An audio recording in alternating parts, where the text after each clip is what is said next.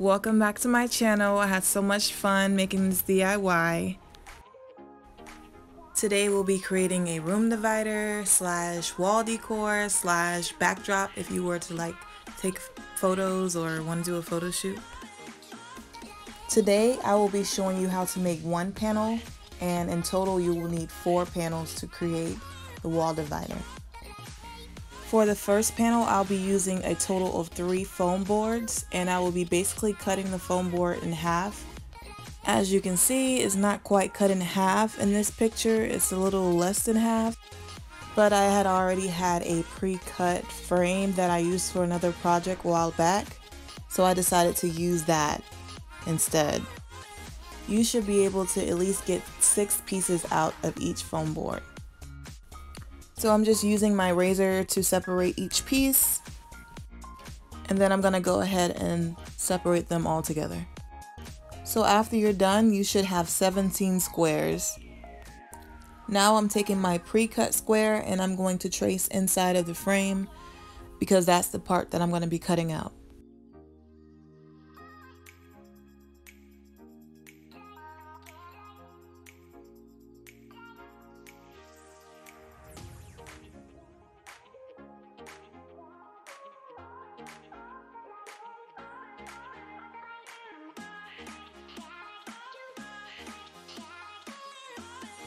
After I am done tracing my squares, I'm going to take my razor and just go around the perimeter of the line I drew just to cut.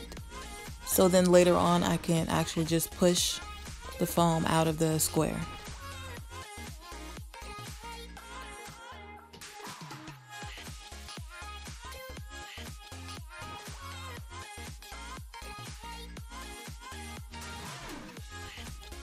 This project is perfect for a day that you just want to watch a movie or listen to some music, drink some wine.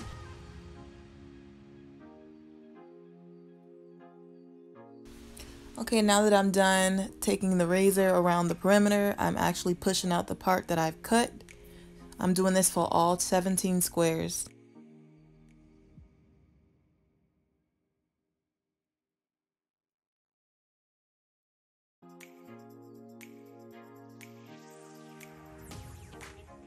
Next, I went to Home Depot and I got these pieces of wood. I'll leave the lengths in the description and I just glued them together with wood glue and held them together with tape. While they were drying, I decided to go ahead and add my squares. Right now, I am just measuring where I want them to go and leaving a little space in between each square.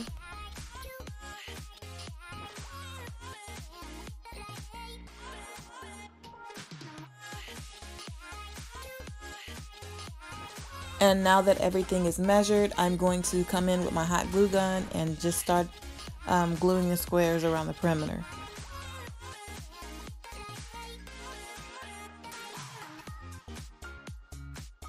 I also cut out a piece of foam board to put in between each square to make sure everything was even and spaced out um, evenly.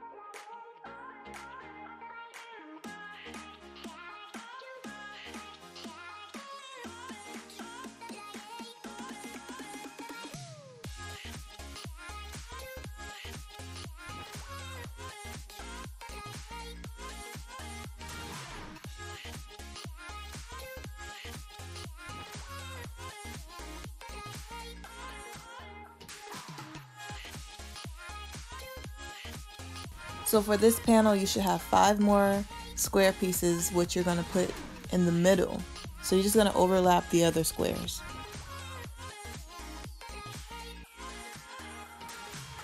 Next, you're just gonna go in with the hot glue gun and glue the squares down properly on top.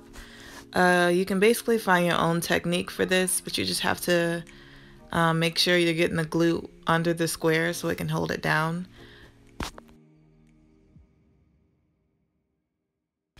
And if you're doing this DIY, you don't have to do all four panels. If you just want a couple panels for your wall, you can stop at one or two. Um, it, you don't necessarily have to do all four.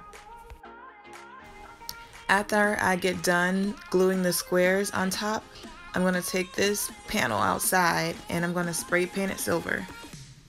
So for this part, I'll be using glitter, um, mirrored rocks, and Mod Podge, which was all purchased at Michaels.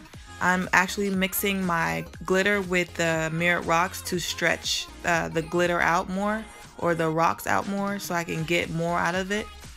Um, and if you would like to, you could just purchase glitter. Um, I was just being extra as always with my uh, mirrored rocks. So with the brush, I am just um, dipping into the Mod Pod and I am just going around the squares and adding the um, Mod Podge and um, glitter to the squares basically.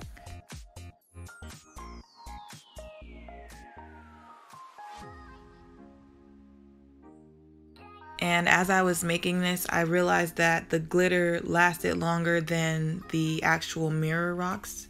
So um, if I were to do it again, I would actually just use the glitter. And I apologize, it's not mirror rocks, it's crushed mirror. and again, everything I use in this video will be in the description box below.